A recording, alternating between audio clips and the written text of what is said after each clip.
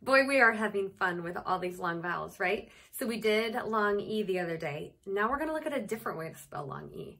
We did the E in the middle with the E at the end, but now there's another way. It's E-A. Look at these words here. So we're gonna start with a short E word. If you look right there, you see bed. B-E-D. Aren't those getting easy now? Love that. That didn't used to be easy, but now it is. Now look over here. There we have the word bead. B-eed. And it has an E-A in the middle. Okay. Now let's look at the bottom over here. I see a net. Net. Net. Over here though, look at those shirts. They're folded so nice and neat. N-eat. Neat. Whenever you see that E-A in the middle of that word, get your mouth ready to say the E sound, that long E sound. When you see just one E, like those two words, you're just gonna say the shorty, eh sound. Good job. We're getting good at this, aren't we? You're not gonna believe this. Now I'm gonna show you two new ways to do the long E sound. What? How can there be so many ways to make long E? Well, there is. So here we go. Ready? When we look over here, we see when there's an E all by itself in a one syllable word and the E is at the end. That's the key. It's one syllable. The E is at the end. There's no other vowel in that word. And then we're going to say the E sound. Now these actually turned out to be pretty easy because some of these are sight words and we learn them really well. Okay, when you look over here, let's read those words from the top. We have we, he, she, be. Okay, read through them one more time. Ready, go.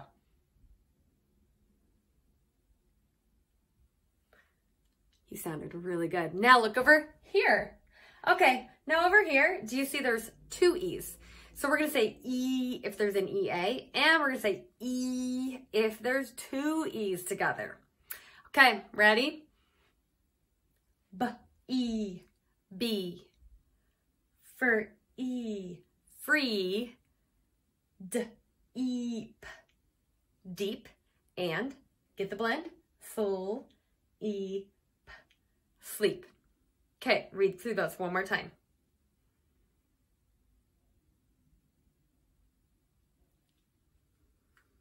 Now we're going to practice reading some of these words as they come up.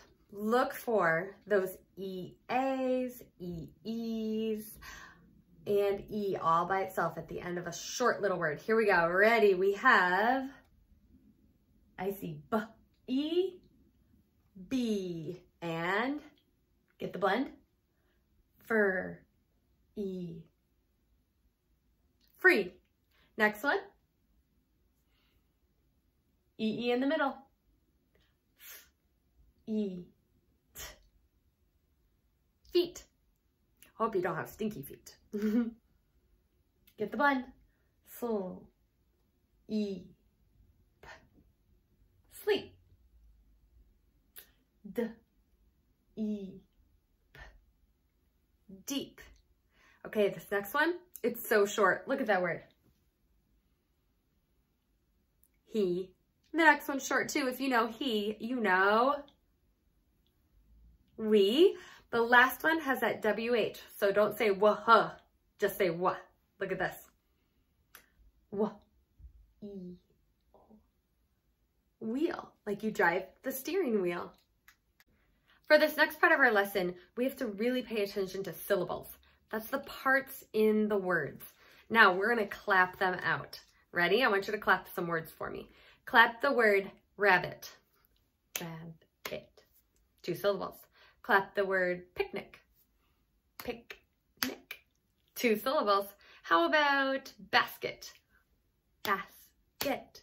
And one more. Puppet. Puppet. Did you notice how they all have two syllables? Mm -hmm. I'm going to teach you a way to look at those words and find the chunks that you can read really well. when we're reading words and we try to figure them out, we want to look for chunks. I know a little song goes like this. Look for chunks, look for chunks, small parts of words, small parts of words. I could keep singing, but let's go ahead and get to these words and look for chunks. We're going to find those syllable chunks. Now that we've practiced hearing the two syllables, let's look at a way that we can read them easily. Now, here we have the word rabbit, and it's a bit of a longer word. What I want you to start training your brain to be able to see and do is to look for the smaller chunks. Here, when we clap out rabbit, we have rab, bit. If you look, you have a small syllable at the beginning, rab, that's easy to sound out, and bit, which is easy to sound out. It helps you see the word rabbit so much easier. Clap it out. Rab, bit. You see those two parts. And the syllable break happens right between the B's. Let's look at another one. Here we have a longer word. Let's do the first syllable. Looking right here. Plas, plas, tick. All of a sudden, a long word becomes short when we see plas, tick, plastic. Look for that place where you can break the syllable and get the parts of the word. Look for chunks. Let's look at another one. Can you read the first syllable? That's right, pick. Can you read the next syllable? Nick. The word is pick, nick, and the syllable break happens right after the C. How about this one? Can you read the first syllable? Bass. Can you read the second syllable? Ket. Ket. Basket. You read the big word basket just by looking for those chunks. The syllable break happens right after the S. Here we go. Look at the first part. Nap. Look at the second part. Kin. You just read the word nap kin right there. And the syllable break happens right after the P. You're doing great. Last one. Can you try this one on your own? Start here.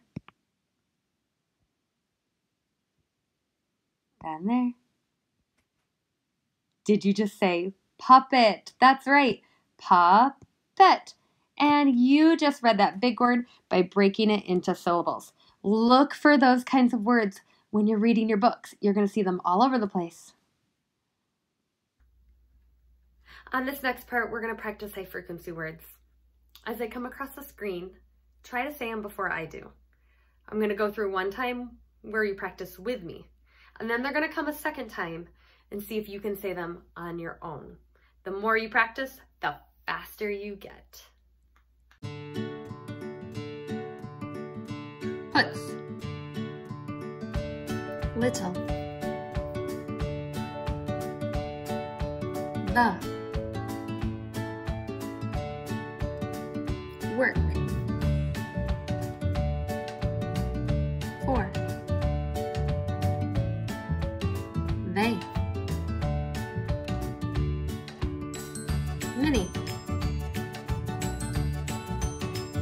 under